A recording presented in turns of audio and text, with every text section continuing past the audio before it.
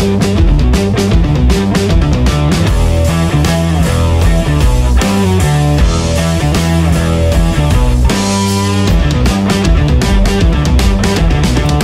nachdem wir den Powerpod fertig gebaut haben und den schon mal hier testweise reingeschoben haben, müssen wir zwei Sachen machen. A, ich brauche ein Stück Velcro. Wo ist das Velcro? Hier hinten. Das haben wir schon gehabt.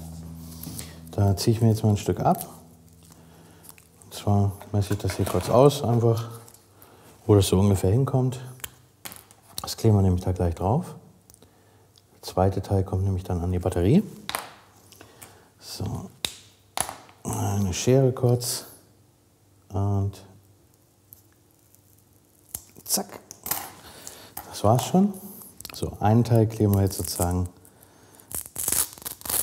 hier drauf.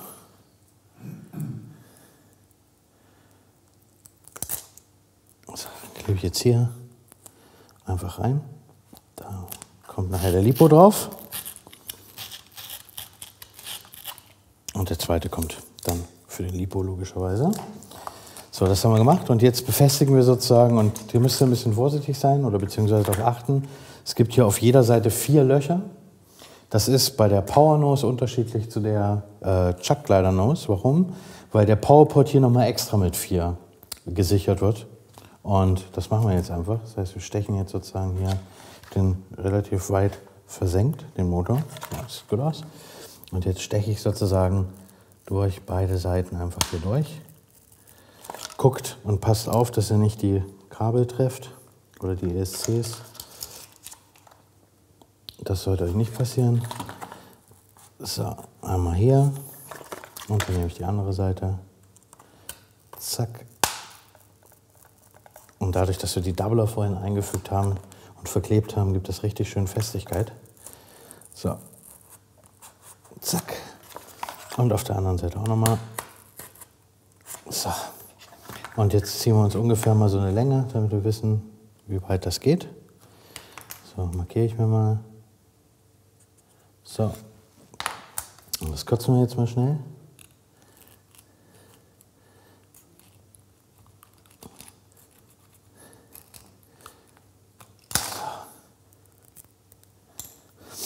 Und dann schieben wir das hier durch einfach. Und gucken, dass wir nicht die Kabel treffen. So. Ist interessant hier. So, wo sind wir gerade? Da sind wir noch nicht. Ja, ein bisschen mit Gefühl und schauen, und passt das auch. So. So, von der anderen Seite. Da sehe ich es schon und da kommt es auch. So. Der erste sitzt, also einfach von beiden Seiten gerade nochmal gemacht. Und jetzt markieren wir uns den zweiten hier noch. Zack, kurze Markierung. Kürzen den wieder ein Stück.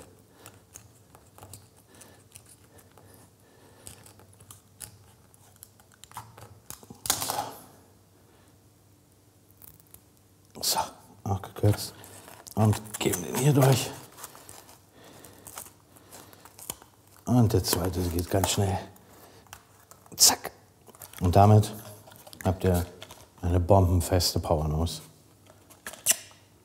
mit dem Powerpod. Perfekt. Damit haben wir den Step jetzt abgeschlossen und kommen nun zum Electronic Setup. Prima.